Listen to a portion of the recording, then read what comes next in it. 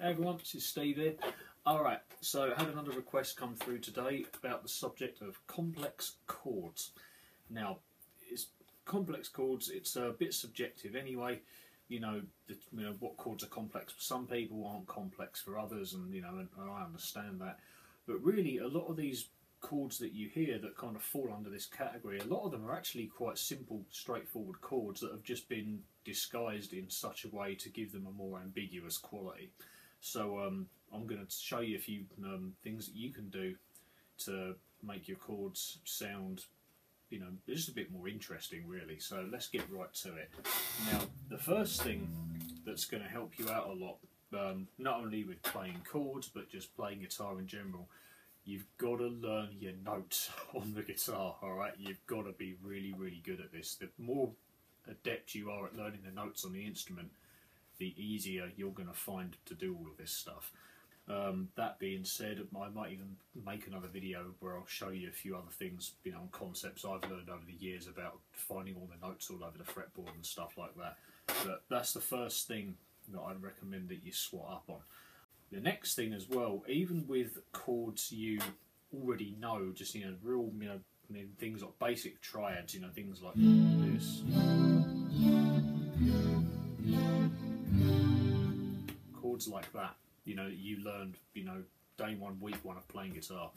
Um, knowing what notes are actually in those chords is going to help you out as well, because the you know chords are the definition of a chord is two or more notes played together all at the same time. And chords come from scales. So all of those chords that I just played there are all just notes from a major or a minor scale all being played together at the same time. I mean, for example, let's take an, this, um, this C major chord. Now, this is from the C major scale, which is this. Okay, if we were to number all of those notes from 1 through to 8, 1, 2, 3, 4, 5, 6, 7, 8, 8 being the octave of where we started. The C major chord uses notes 1, 3 and 5 all being played at the same time. Like this. And in this particular instance, those notes actually go in alphabetical order because even when you put the other two in, you're playing the notes C, E, G, C, and E. But because of the way guitar's laid out, that's not always the case. I mean, if we were to take an A major chord, for example, so the same concept applies. This is notes 1, 3, and 5 from the A major scale. 3, 5, A, C sharp, and E. But the notes this time around you're going to play like this A, E, A, C sharp, E. So you've got two A's, two E's, and one C sharp. So again, if we were to give the numbers, you've got one, five, one, three, and five. So knowing that about the chords you already know is, is quite important, I think. Now, the chord I'm going to be showing you, um, the next part of is going to be this uh, C major 7 chord, the note C, E, G, B. This is again very much a, a, textbook kind of chord shape. You probably already know this. It's basically, if you don't, it's just an ordinary C major chord with the first finger taken off. And you get that. But again, this chord isn't particularly interesting. Yeah, it sounds nice, but it's not that exciting really. You've heard it you know, a million times before. So how we make this more interesting is we start learning about what are called inversions. Now, what are inversions? What they are is chords where all you're going to be doing is rearranging the notes in a different sequence. So instead of notes 1, 3, 5 and 7, this time you'll begin on note number three, so you'll go three, five, seven, and one. And then you start on the five, and you go five, seven, one, and three, and stuff like that. But while that sounds very straightforward in principle, again, because of the way a guitar is laid out, doing it like that is going to present you with a bit of a problem. The first problem being that this chord is nice and easy. if we then take all of these notes and we move them alphabetically, so instead of 1, 3, 5, 7, we're going to go to 3, 5, 7 and then the 1. That means the C is going to go up to the E. The E will go to the G. The G will move to the B. And the B will move to the C. So what that means is you're going to end up with this absolutely horrendous chord that I can't even play and it's going to be like this. That's from the seventh fret to the first fret. Okay, you you want to have a bash at that? Go for it, because I mean I, I can't play it. You know my hands won't reach that far. The next the next shape of this, where we're going to go notes five, seven, one, and three. That's going to be G, B, C, E. That one isn't too bad. And the final one, where we're going to go B, C, E, and G. That's pretty uh, horrendous as well. I'll have, I'll have to cheat and do it like that. So, yeah. Now, those type of voicings, you know, don't let all this stuff put you off. Think, oh my god, I'm never going to be able to play chords that sound like this or whatever. You don't play these type of chords on the guitar. These are piano chords, basically piano voicings. Um, which is why on a guitar they, you know, they've got a nice sound, but they're just so horrific to play. So we can still do this principle of moving the notes alphabetically, but we can do it with shapes that are a lot more guitar friendly, shapes you already know. So this time around, we're going to use this version of a C major 7 instead. Shape. You can also strum this and play it as a bar chord, um, but I'm only playing the middle four strings here, the four notes that we need. So this time we've got a C, a G, a B, and an E, which is notes 1, 5, 7, 3 from the C major scale. So this chord, by the way, where the C is the first note, so what C is called the root note, by the way. Classical players call it a tonic, um, tonic root note. It's exactly the same thing.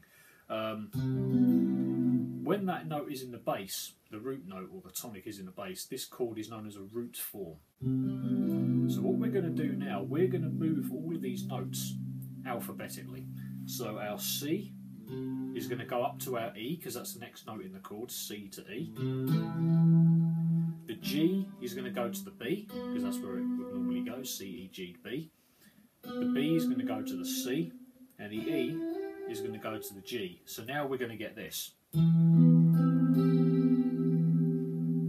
Sounds very, very nice. Now this time the E, or the third, is the note that's in the bass. This is what's called a first inversion.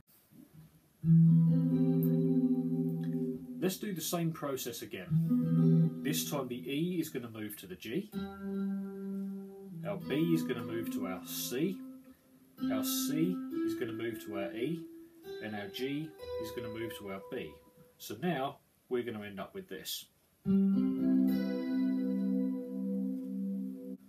So now our G, or our fifth, is the note that's in the bass. Okay, that's called a second inversion. So let's do this one more time. Our G is going to move to our B. Our C is going to move to our E. Our E is going to move to our G. And our B will move to the C. So we end up with that. Now, in this case, the B, or the seventh, is the note that's in the bass, and this is called a third inversion. So to show you all those quickly again, we've gone root form, first inversion, second inversion, third inversion. And then we're back on the root form where we started, just an octave higher. And as you can hear from all those examples, our C major 7 chord has gone quite a way, you know, because most people, if they play a C major 7, are going to do this. You know, not many people are going to do this. It's exactly the same chord, it's just being played in a different way. And this, this idea, this concept of taking all the notes in the chord, learning about them, and moving them alphabetically through the chord, you can do this with any chord that you want okay and when you get good at this and you've learned a few of these a few of the shapes you can start taking ordinary chord progressions and using some of these inversions and really making them sound you know, very, very interesting. And the other thing you can do as well is, you know, you can you can put the notes anywhere you want. So, I mean, for example, let's kind of make something a bit crazy here. So, I'm gonna I'm gonna go C, G on the lowest two strings, and I'm gonna play a B and an E on the highest two strings. Yeah, a bit random, crazy. It's still a C major seven. So that's one example. Here's another example. Okay, take um take an A7 chord. So this shape here, you probably probably know this. Got that classic, you know, blues sort of sound to it.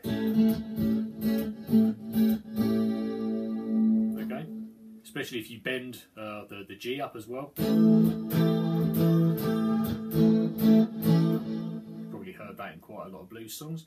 But here's the thing, you know, if you're playing a, a, chord progression and you're using this, you might think, "Ah, this chord, you know, it's nice, but it, it sounds too bluesy." Take the note on the high E string and put it on the low E string.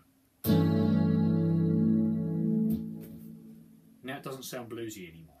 It's got a very ambiguous quality to it. People are going to listen to it and then think, "Oh, blimey, what's that?" It's just an A7. All you've done is put this note on the E string from this E string to this one. Okay, people, so we'll leave that there for the day. I hope you've enjoyed this video. If you have, as always, please like and subscribe to my channel. Any more requests for anything guitar related, please let me know, and I will do my best to film it. Alright, people, thanks for watching. See you soon. Bye bye.